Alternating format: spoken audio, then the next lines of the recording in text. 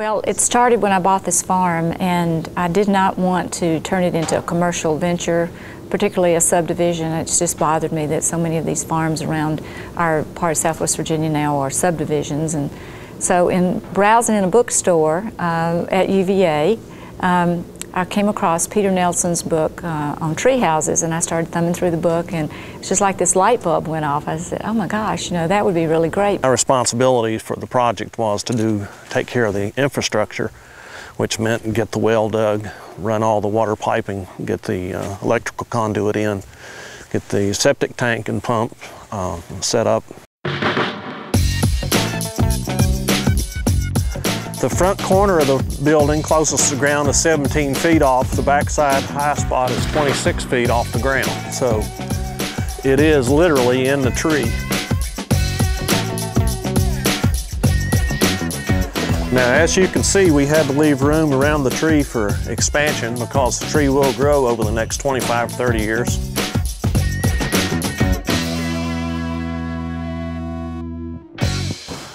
And if you like, come on in.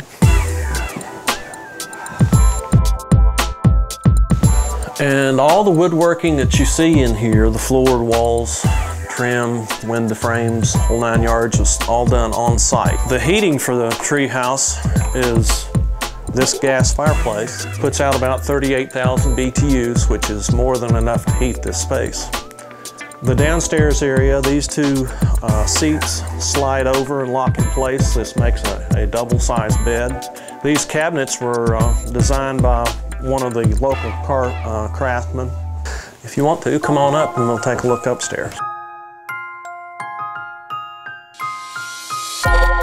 There is a, a decking, what I call a widow's walk, goes all the way around the treehouse to the outside so that you can greet your guests or just watch the wildlife on the outside. Now, on any given day, you might see um, wild turkeys, deer. Uh, there have been reports of bear in the area. Now, the, the next thing you'd want to look at is the, the bathroom and the shower. We have a, an odd-shaped shower that is bigger than most people's shower at home. Again, as you can see, we incorporated the, the natural uh, shelf and, and uh, wood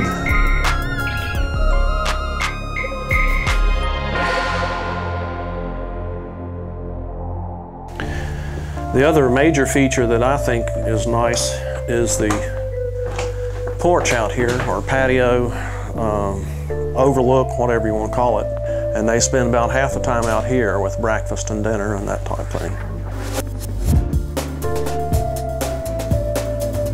Talking with Rachel, she said that the whole time she was growing up, she wanted a treehouse and never, you know, that never did work out. So when she got older and had the means, she said, I'm going to build a treehouse. This, this is Rachel's this is her baby. Uh, she's somewhat of a dreamer. Uh, about 14 years ago, she dreamed up this idea of build a Southwest Virginia Higher Ed Center. I think people kind of didn't pay that much attention until she went to the legislature and got 10 or 12 million dollars to build it with, and then she put the hard hat on and, and uh, watched it be built. The, the Higher Education Center was established thanks to UVA and its uh, leadership in getting this project off the ground. Uh, we were established in 1992 as a state agency of Virginia, and um, we are um, a collaborative higher education institution in a rural area in Abingdon, Virginia. Um, today there are 10 universities that offer degree programs through this facility. Um, UVA is our fiscal agent. Um, although we're a state agency, our money flows from Richmond to UVA, and um, UVA uh, manages for us our procurement uh, functions, our facility function, and um, they also uh, do our human resources. So that's been really important. They are our strongest partner. Um, there are about 75 different degree programs that are offered here from the bachelor's level through um, the PhD level. And so that's been really great to make that opportunity available to primarily adults that live in this region. I love the quiet uh, solitude of it. Um, it's a place to really be unplugged. Your cell phone doesn't work very well there and there's no internet, obviously no television.